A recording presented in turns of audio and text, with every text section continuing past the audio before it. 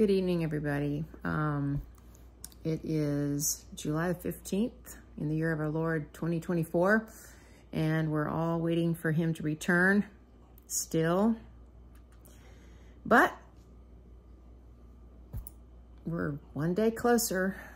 Uh, it, it seems like the rubber band can't be pulled any tighter, but it seems to be pulled tighter and tighter and tighter.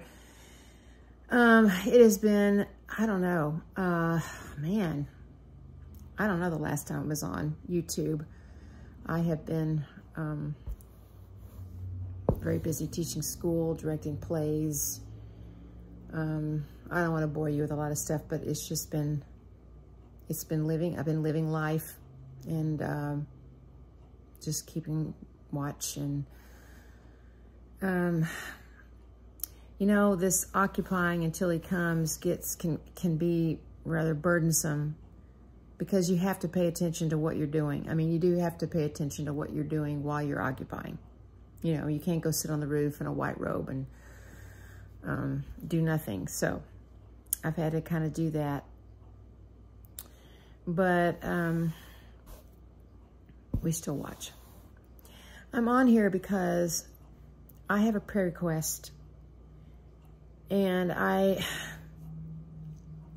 I'm, I don't know who's going to see this because I don't have a lot of subscribers and I'm hardly ever on. So, but I'm just, I just sort of felt, uh, I think it was after I was listening to Gary. Um, he was sharing about, you know, how the Lord has, has um, healed him and provided a truck for his wife and um, just been, it was really encouraging to me. And I, I just felt like, well, I'll just get on here and ask for prayer as well. And um, I'm just going to try to make this real short and ask if if you see this, if you'll just share this prayer request with prayer warriors. Um, about seven years ago, we'd been overseas and we had to come back to the States suddenly. And it was a very unpleasant situation. And um, the Lord had some things he needed to do.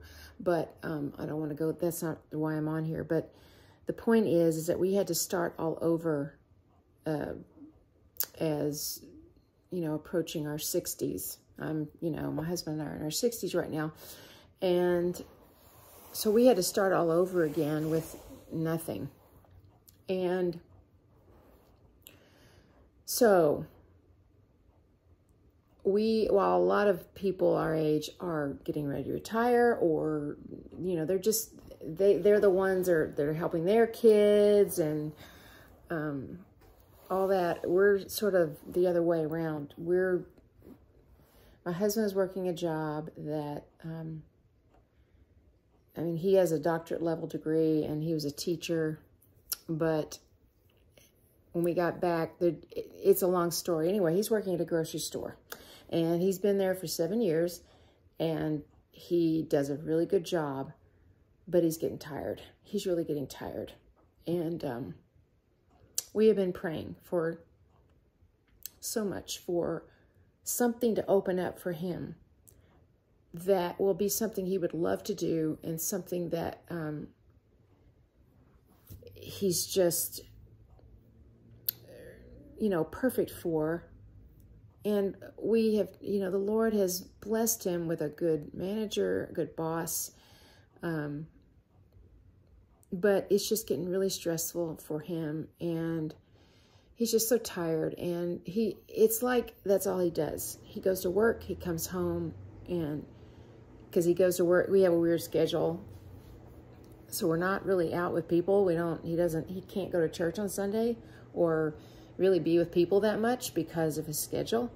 And it's just it's just really hard. And so um he, when he does look for something, nothing happens. I mean, people don't want people his age, you know? I mean, no matter how qualified they are or how well, you know, I mean, it's just the way it is. And so I am working one, two, three, four, four or five, you know, part-time jobs, just little, they're contract, contractor. I teach online. I direct and teach uh, theater, which I love. I'm really glad for that. But, um, and I teach at a, I have two classes at a local Christian school, but I used to have more classes, but that's another story. Um, the way that everything has happened, I only can have two.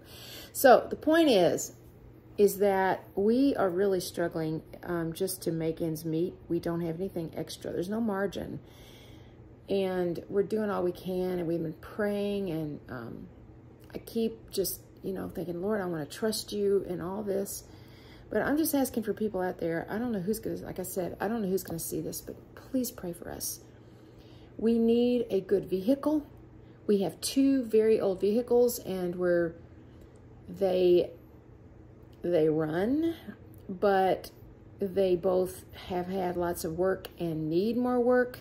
And so now we have um, automobile repair uh, bills that we still are paying on. We do not have credit card debt that is for just for fun. It's just always like the basically is on car repair right now. And it's just, my husband is just getting really discouraged and I don't know. I mean, I know the Lord is good. I know he's faithful and he is, I, just, especially for my husband, he needs some real, um, I don't know, he just really needs to know in a tangible way. I'm just, I mean, I'm not going to tell God what to do, but this is what I would pray that the Lord will provide things like this um, a good a job that he can just thrive in um, and get paid for what he's worth you know? And then we could have a vehicle and we can't afford car payments. Um, we live in an apartment. Um, i'm not trying to make a pity party either. I'm just telling you the way it is. And I know there's a lot of people suffering too. I know that. We're, but I just felt like that I needed to go on here and reach out to whoever hears this for a prayer for us.